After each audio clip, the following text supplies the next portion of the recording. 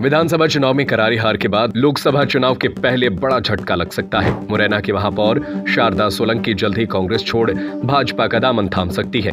महापौर पूर्व सीएम कमलनाथ के खेमे से आती हैं। होटल द हेरिटेज कन्वेंशन शादी के लिए सागर शहर में खूबसूरत व प्राकृतिक वातावरण में स्थित होटल द हेरिटेज कन्वेंशन। हमारा पता है कनेरा देव रोड सागर। मुख्यमंत्री डॉक्टर मोहन यादव के सामने भोपाल में उनके भाजपा की सदस्यता लेने की बात कही जा रही है। पहले उनके मुरैना दौरे के दौरान मुख्यमंत्री के सामने भाजपा की सदस्यता लेने की बातें कही जा रही थी। मुरैना में गुरुवार को सीएम का कार्यक्रम है, लेकिन फ़िलहाल उनके सदस्यता लेने की संभावना नहीं है। महापौर के बेटे व कांग्रेस नेता सौरभ सोलंकी ने संकेत दिए हैं कि दो दिन बाद सदस्यता हो सकती है। उनके साथ दस पार्षद भी भाजपा का झंडा थाम सकते हैं। अगर महापौर कांग्रेस छोड़ती हैं तो इसका असर लोकसभा चुनाव में दिखाई देगा। पहले से कमज़ोर कांग्रेस में इस तरह से पदाधिकारियों के जाने से निराशा का माहौल भी तैयार होगा। ऐसे में कांग्रेस को अपने कार्यकर्ताओं और पदाधिकारियों को रोकना एक बड़ी चुनौती दिख रही है।